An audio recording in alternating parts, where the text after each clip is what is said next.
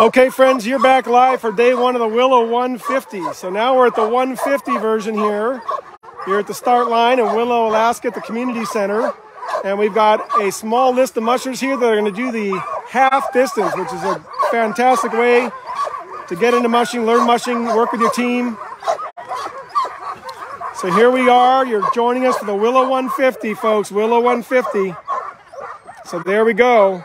Emily Robinson up first then Walter Robinson, and on down the list. So we've got our first teams right now.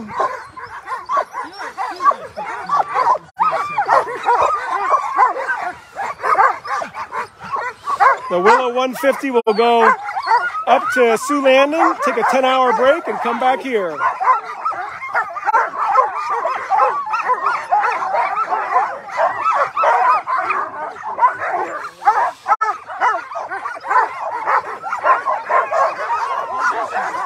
These guys want to go. To go.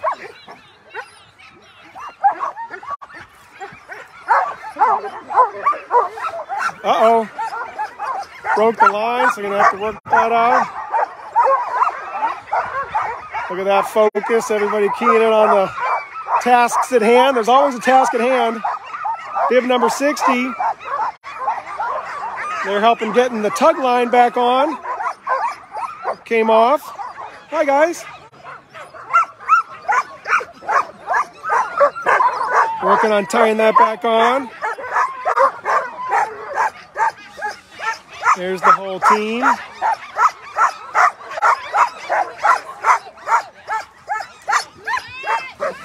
There she goes. All right. Our first team for the Willow 150 on the trail to roaring applause right? How exciting. So there we go. Emily Robinson out there. That bib number on her sled is not what I have on my sheet, but we'll go with the sled, right? And there she is out there on the magic carpet. I'll zoom in for you. Bang. Team number one for the 150, half the distance, and they'll go to Su Landing and come back. 10 hour mandatory. And mushers use this as a learning experience some more experienced mushers just use it as a good chance to do a half race and camp a couple nights. Practice getting to the start line. All right, we have Walter Robinson up next.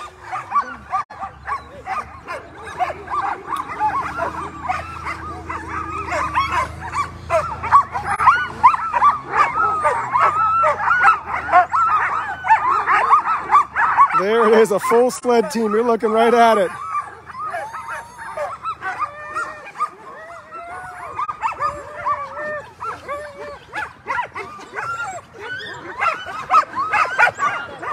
So excited, wants to go. You guys want to go?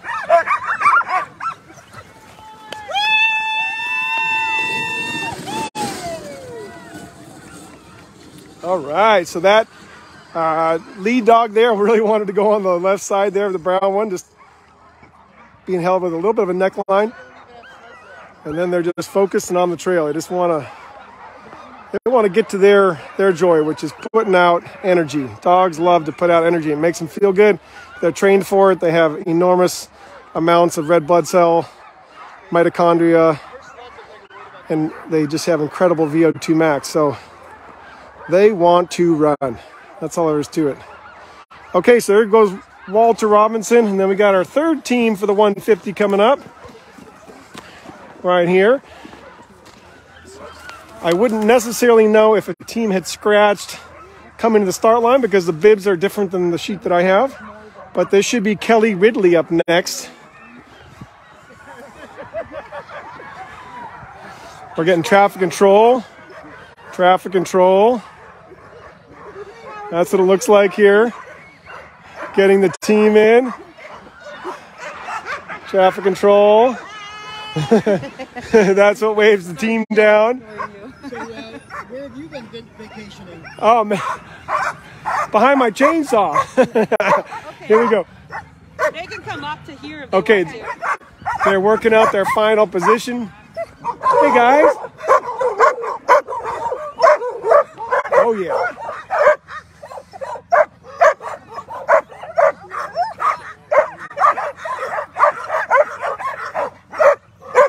Look at this guy running in place. I want to go.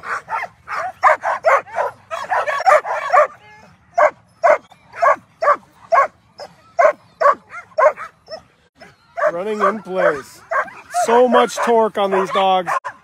See those booties all on, nice and tight. There they go. All right, looking great.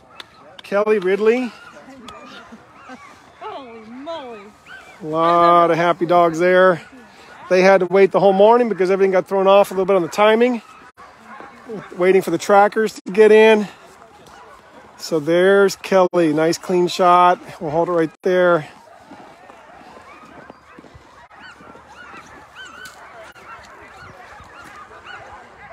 Off into the magic. All right. Fourth team coming. There's only about nine here on the Willow 150, folks. Um, so Jacobs is up next.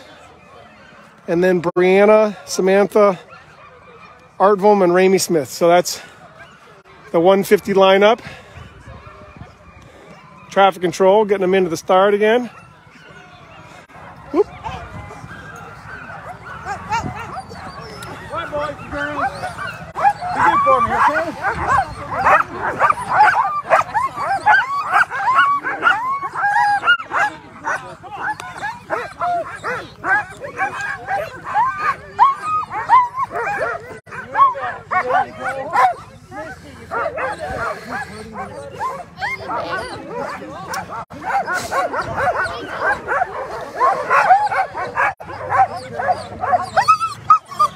And there we go. That's what it looks like to be at the start right now.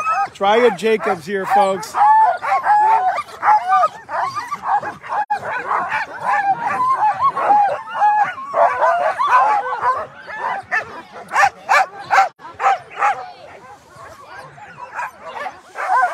All right, they're getting ready to blast off there. Jim Cole from Three Bears helping hold the sled. Our break is on. There's the break.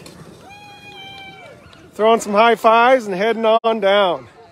Again, the 150, half the length of the main race, and then also more rest time built in. So a really good experience for the dogs. She's, she's pretty in There goes the team around the bend there. Oh, she's never been on 150 before. So some of these dogs haven't done this distance, some have. Uh, everybody needs practice camping, so good to have the environment set up in there. Let's give him a full shot here.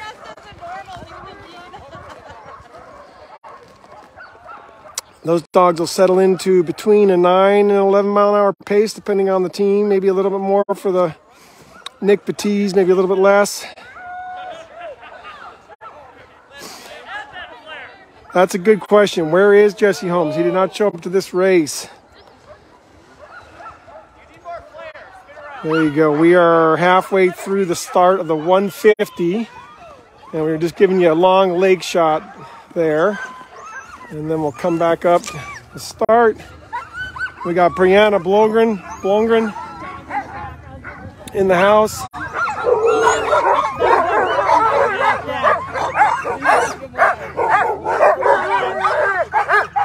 Sorry. Sorry.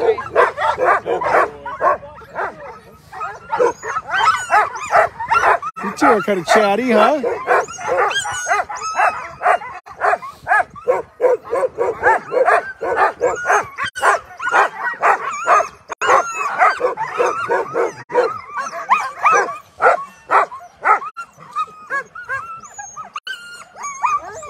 Great looking dogs here. Look at those eyes, just beautiful.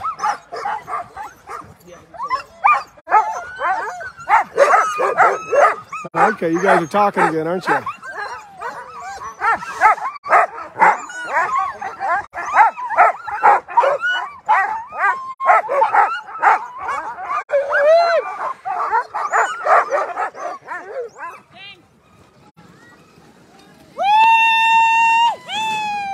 All right. Heading out on the lake. Got that brake on. You can really hear that brake. You have to have your brake on. You got to speed management, line management right away. Dogs have so much power. You want to keep that line nice and tight. Lead dogs are the pace dogs. You slow them down. You can see the brake kicking up right there. A little bit of snow off the end. That's that drag. And you got to get them dialed in. You usually have a some sort of GPS or something on your sled that you can, after they get their initial race excitement out, you want to get them right into the rhythm that they know and that they love. You have different kind of lead dogs for different situations. You have speed lead dogs. You have trail finding lead dogs. Kind of like weather disaster dogs. There's different kinds of lead dogs. Some that can really find trail, some that can really hold speed, uh, and some that have different heads. So to answer the question of how many lead dogs would a musher want, you'd want a variety if you could. You'd want to have lead dogs in different different uh, mindsets, and that way they get they get uh, different dogs for different situations. All right.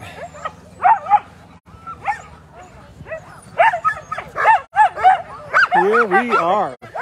Looking good here. Samantha Lalonde. Sam- Samantha. There we go. Hey guys.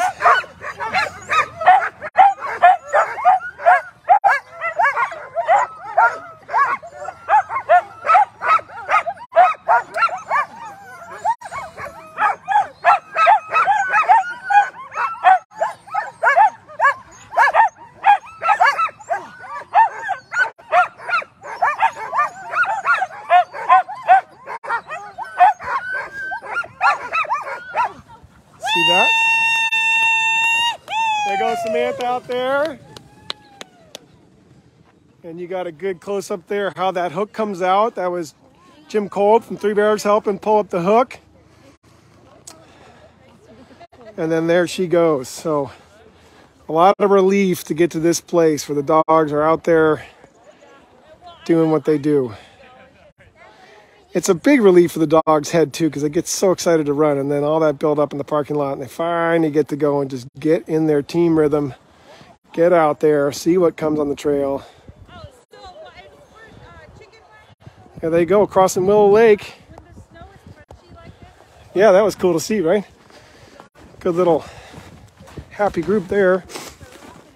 Okay, Artyom Krutikov would be the next team up, and then Ramey Smyth. So if we have two more teams, they'll be coming up soon. Again, if there's a scratch or a timing change, I don't know from where I'm standing right here because I'm standing right at the start. I don't see a team coming up right this second, which leads me to believe that the race order might have changed a little bit. Now, if you're looking for the Willow 300, you want to go to trackleaders.com and you want to start following those trackers. Sometimes they can have anomalies, they can have inconsistencies, they can delay updating. Okay, good. We do. So, who scratched? Yeah, it works now. Okay, I- on my uh, on my start order, I had uh, I had Artyom and Ramey left. Rainy is not going to be. Okay, so Ramey's not going to be here, but Artyom is. Great. So that's what happened here, folks. Ramey Smyth, legendary Ramey of the Smyth family.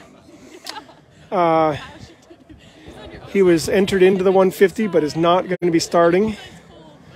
And so now we're waiting for one more team. It is a time. There's Andy. Got to make sure that I get on the close.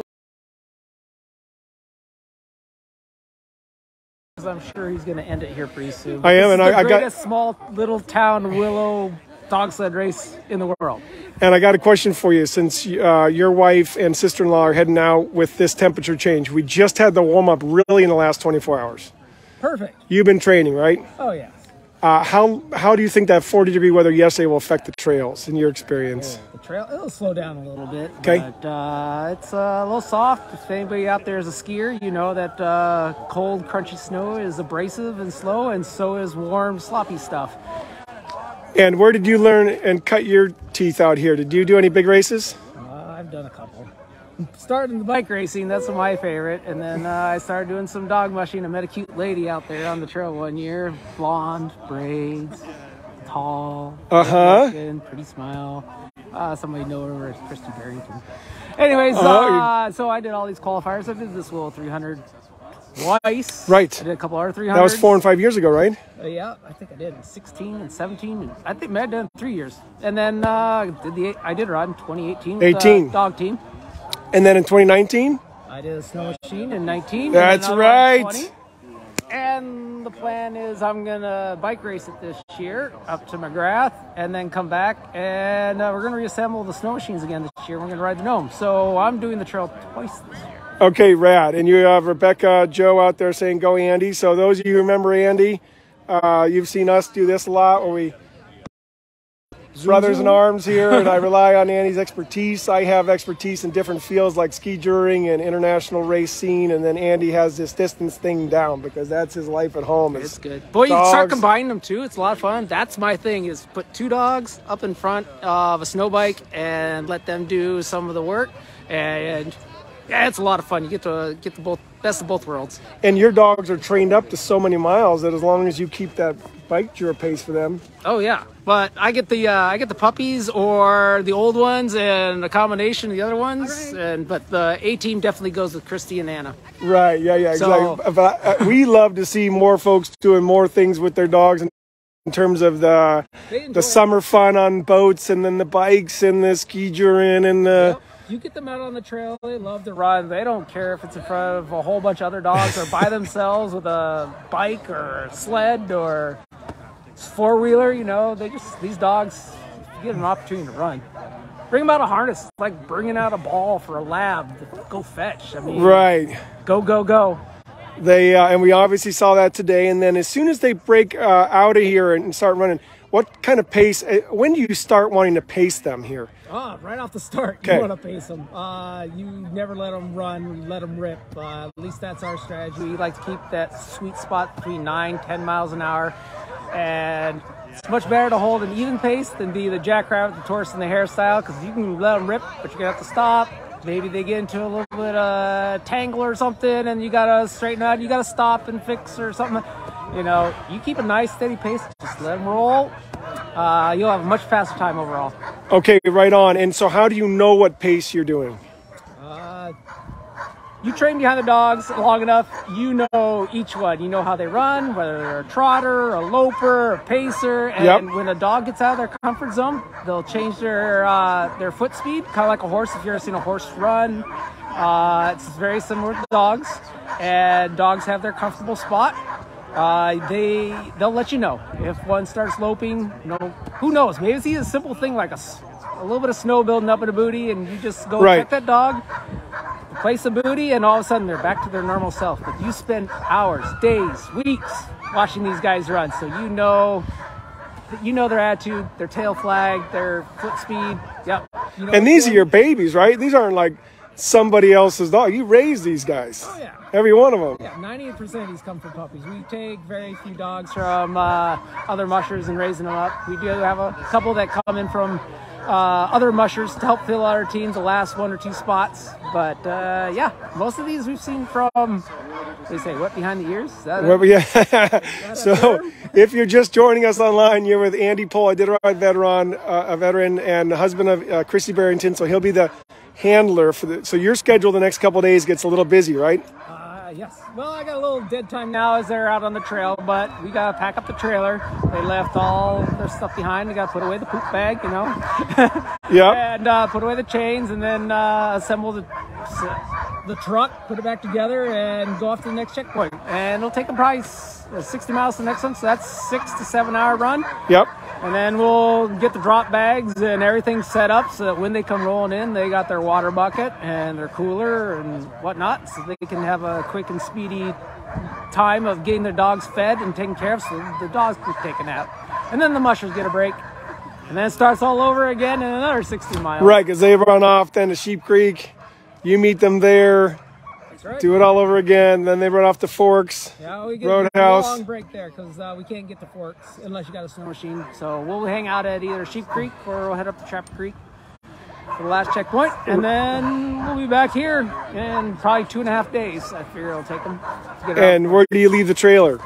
Oh, well, there's a guy named Kale who has a really nice cafe, drive-in, bed and breakfast just up the road.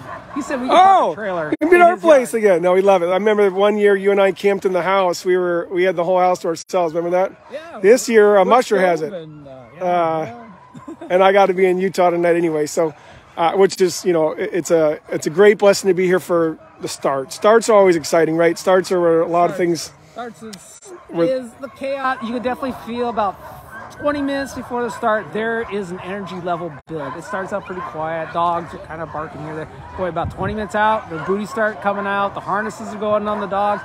Dogs start commoting a little bit more. It's infectious. It gets from one team to the other, and pretty soon, five minutes before the start, it is.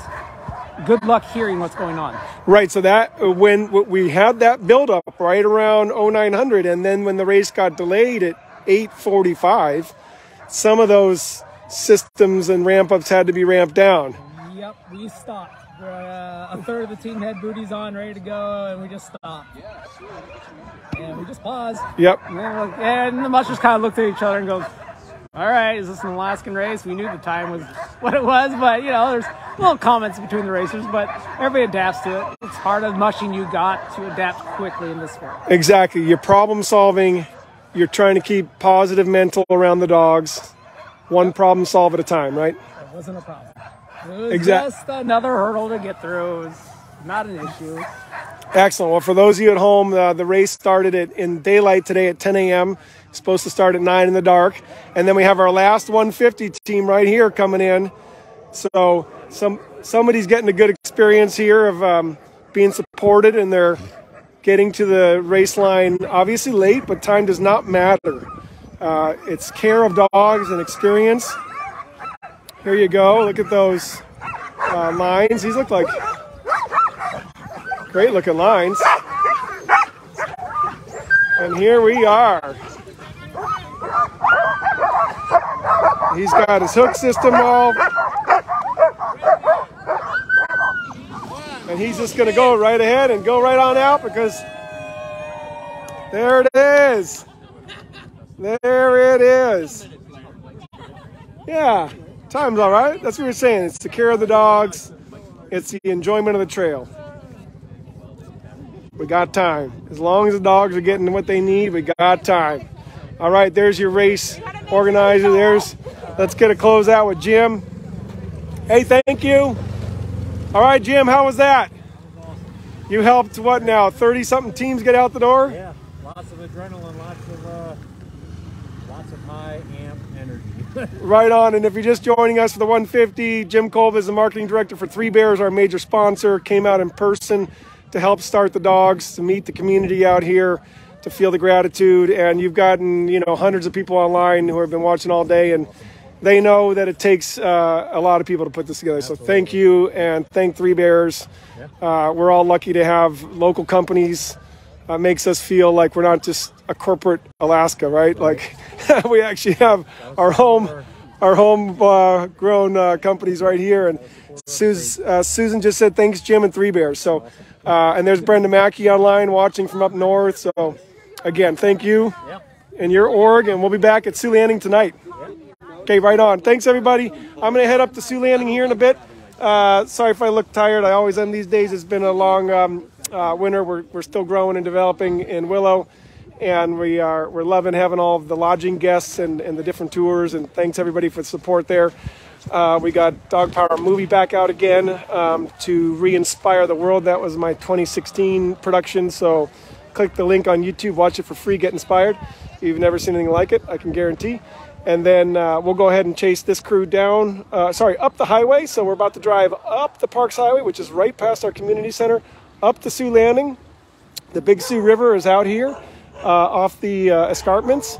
And so the dog teams will be heading up the Su River, and we'll go and join them for sunset. And then I got to fly out tonight. So thanks so much, everybody. We'll hopefully see you soon.